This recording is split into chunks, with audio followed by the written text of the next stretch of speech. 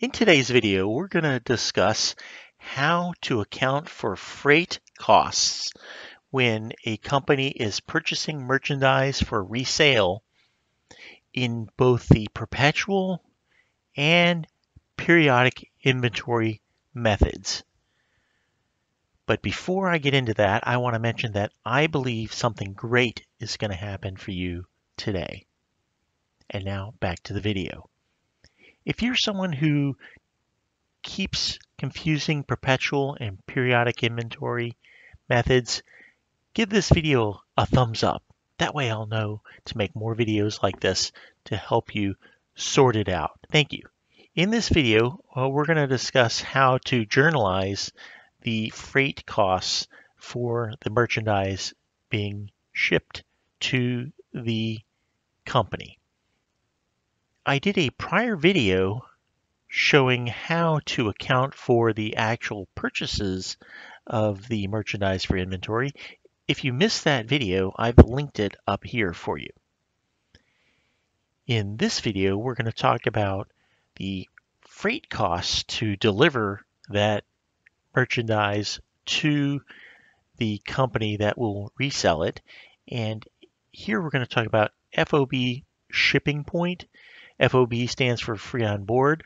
Shipping point means that it changes hands. The legal ownership of the of the merchandise changes at the time it is shipped from the seller to the buyer. And the buyer is responsible for the freight costs. So that is why the company that we're accounting for here, they are, they are the buyer they are buying the merchandise for reselling to somebody else, and they incur freight costs of $150, and they're going to pay cash for that freight cost.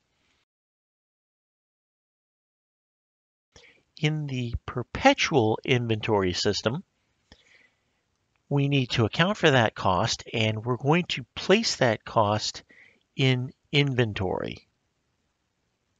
We're just going to add that cost to the cost of the inventory and ultimately it will then flow through to the cost of goods sold when that inventory is sold. So we're going to debit the inventory for $150 so we're actually capitalizing it as an asset.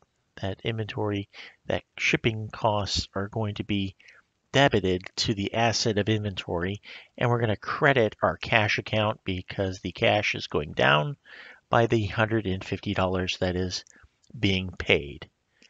You have now properly accounted for the freight costs for FOB shipping point under the perpetual inventory method. Now let's look at the periodic inventory method.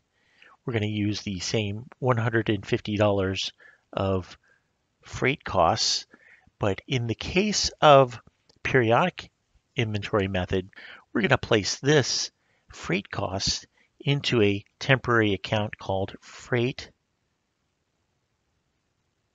in. We're going to go and debit the $150.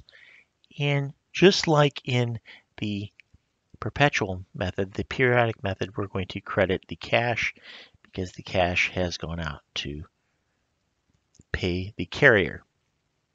You have now properly accounted for the freight costs for FOB shipping point in the periodic inventory method. Now you're knowing a little bit more about it, but there's much more to know.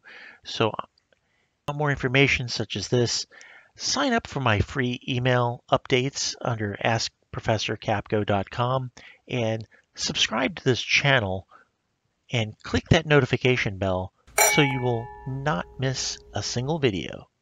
Thank you.